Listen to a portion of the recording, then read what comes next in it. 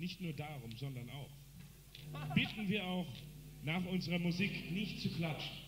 Denn klatscht man! Wenn der Pfarrer seine Predigt hält?